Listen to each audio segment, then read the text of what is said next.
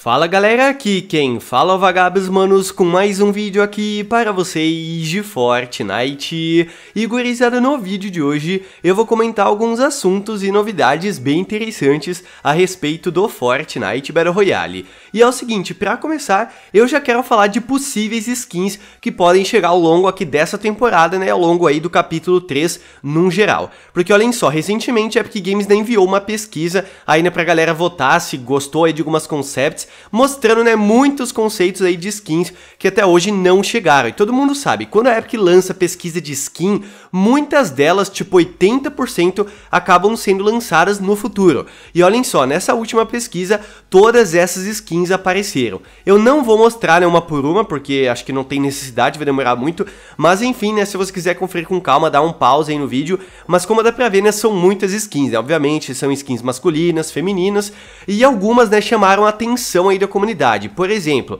uh, essa skin aí, manos, todo mundo tá falando que é um novo integrante do set, né, o que faz muito sentido, levando em conta o traje dele, né, o visor ali no capacete, né, muito parecido com o visitante, cientista, fundação, né, todos eles têm o mesmo padrão, né, a galera tá falando que esse é o A Origem, tá ligado? Que é um dos integrantes importantíssimos também aí do grupo do set, e dá pra ver que do lado direito tem um estilo da skin. Uh, a gente não sabe se é uma outra skin ou é um estilo para ele, né? né? Uh, a galera tá falando que é um estilo mesmo, né, pra essa skin do A Origem, tipo, ele sem a, o capacete ali e tudo mais. E se a gente analisar, isso faz muito sentido, né? Levando em conta ali a questão das mãos, né, que tem essa, esse brilho roxo ali saindo, tem um formato, né, muito parecido ali no traje, né, os símbolos e tudo mais. Então, realmente, isso pode ser verdade. E a questão do lançamento da skin pode ser que não vai ser lançado na loja, porque o único integrante do set lançado na loja, né, foi a Paradigma. Geralmente, a Epic, né, lança no passe, skin secreta, alguma coisa assim. Mas tá aí, né, então, um futuro integrante do set que pode chegar ainda aqui no capítulo 3. E ainda falando no grupo do set, tem uma galera achando que essas duas skins femininas aí também, né, fazem parte do grupo do set. No caso, as duas irmãs, né? Porque são skins muito parecidas. Só que um detalhe, o Hypex comentou que pode ser a mesma skin com um estilo diferente, né? Assim como a Origin que eu acabei de mostrar, que pelo jeito vai ter um novo estilo, ah, pode ser que essa aí seja apenas uma skin, tá ligado? Mas, né, como tem um traje de certa forma até parecido ali, né, com a galera do grupo do set, só que dá pra ver que não tem o capacete, né? E já é um padrão do grupo do set, né? Ter o capacete ali com o visor. Então não sei, né, manos? Ainda se passa é, de especulação, não é nada confirmado, mas né, são skins que chamaram atenção na comunidade aí fazendo parte dessa pesquisa. A gente pode ver também essas quatro skins que tem o mesmo estilo, manos. Isso aqui pra mim já é confirmado que vai ser lançado, né? Um pacote, assim como o pacote né, de gelo que apareceu na última pesquisa e foi lançado recentemente. Eu acho que esse pacote também vai ser lançado. A gente pode ver, né, quatro skins ali, né, com o traje da OI, né? Então a gente tem ali a skin da que fez parte lá do clube, que eu esqueci o nome, skin feminina.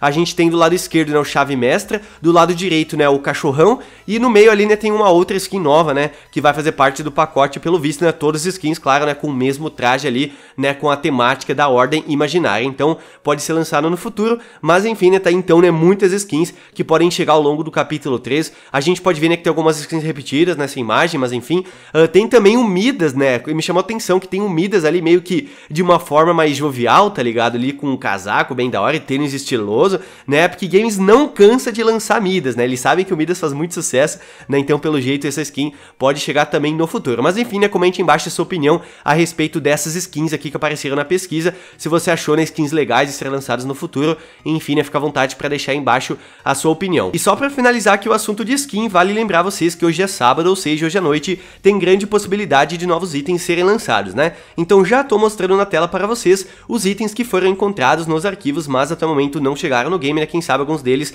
apareçam hoje à noite na loja. E se você quiser comprar qualquer item aqui apoiando o canal, eu ia ficar muito feliz de verdade mesmo se você utilizasse a tag Vagabito aí na opção de apoio um criador, beleza? Você pode apoiar quem você quiser, né? Qualquer criador que você gosta, mas se você escolher aqui o canal, ia ajudar demais mesmo. E, manos, outro assunto que eu separei aqui é sobre a remoção da Pump Shotgun. Aí você pergunta, como assim a Pump? Ela já não foi removida no capítulo 3?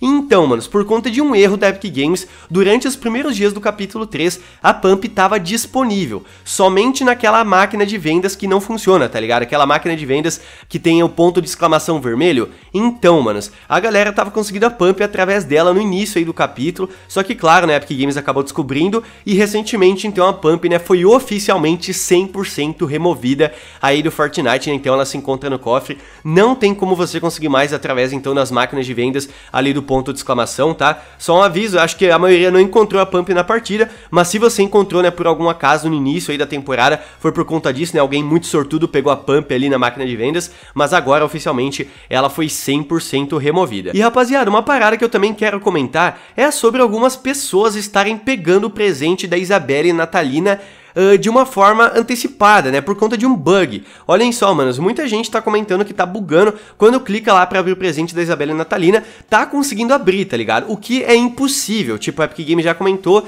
que você só consegue a skin né, liberando, primeiro, né, abrindo seis presentes ali na frente dele, ou seja, ela só vai ser oficialmente liberada daqui uma semana. Só que muita gente, quando tá clicando no presente da Isabela e Natalina, tá conseguindo abrir, manos, não sei como, tá ligado? Tá bugado, tá bugando em algumas contas, então a galera, né, tá conseguindo a skin antecipada, aí por conta de bug, né, ah, claro que isso deve ser o caso aí de 0,001% da galera, mas enfim, né, se você uh, quer testar, né, dá uma olhada lá, né, se aparece para você abrir o presente ou não, se der para você você, né? Parabéns, você tá com a conta bugada e vai conseguir a skin antes que todo mundo. Mas é claro, né, que na semana que vem todo mundo já vai conseguir. Mesmo assim, né, achei uma parada interessante para mostrar, né, que algumas contas estão bugadas. Fortnite adora um bugzinho, né, e muitas pessoas estão se aproveitando do bug aí para pegar skin antes do momento. E para finalizar, mano, só falando a respeito dos desafios do evento de Natal, hoje, né, foi liberado um novo desafio que é para você coletar um biplano de brinquedo no condomínio Canyon, no Bosque Gorduroso e na Toada Sonolenta. Três brinquedos aí no total. Se você tá com um pouco de dificuldade dificuldade em fazer essa missão, dá uma conferida no vídeo que eu postei mais cedo, tá? Eu mostrei os locais exatos pra vocês, você não vai ter dificuldade em encontrar os locais ali, né? E é um desafio um pouquinho mais complicado, né, que os outros, então, se você precisa de alguma dica, dá uma olhada no vídeo que eu postei hoje, né? E completando, claro, você consegue 18 mil de XP. E o desafio liberado amanhã vai ser muito simples, para você viajar enquanto estiver com pés de gelo, 200 metros, né? Então é só você jogar uma granadinha de gelo em você mesmo ali e tudo mais, que você vai ficar, né, com os pés de gelo, você sai deslizando, né, muito muito simples, um desafio né, que nem vou precisar fazer vídeo, logicamente, porque acho que todo mundo vai conseguir fazer sem problema nenhum. Lembrando, claro, né, que os desafios estão sempre sendo liberados de manhã às 11 horas, tá? Então, se você quer fazer o desafio mais rápido possível amanhã, fique ligado, então, 11 horas da manhã. Mas então é isso, galera. Espero que vocês tenham gostado aqui do vídeo. Deixe nos comentários a sua opinião sobre os assuntos que eu falei aqui. O que você achou, então, né, da pesquisa mais recente feita pela Epic, né, que eles colocaram muitas skins que, pelo jeito, vão chegar no futuro. Como eu falei, né, geralmente 80 30% das skins que aparecem em pesquisas chegam de fato no jogo, né? Então é bem legal a gente dar uma olhada, porque a Epic Games já dando né, um spoiler de skins a serem lançadas no futuro. E se você gostou do vídeo, manos, deixa o likezão aí, porque não custa nada e me ajuda muito. E claro, né, também mande pros seus amigos para todo mundo ficar ligado em mais assuntos e novidades bem interessantes. E também, né, para saber que agora, oficialmente, a Pump, né, foi 100% removida aqui do capítulo 3, porque no início aí da temporada, né, a galera tava conseguindo ela através aí das máquinas de vendas quebradas, né? Por conta de um bug, né? Um erro pela época que eles tinham esquecido de fato de remover ela aí desse item. Mas então é isso, manos. Aquele abraço. Se vemos no próximo vídeo. Valeu, falou e eu fui!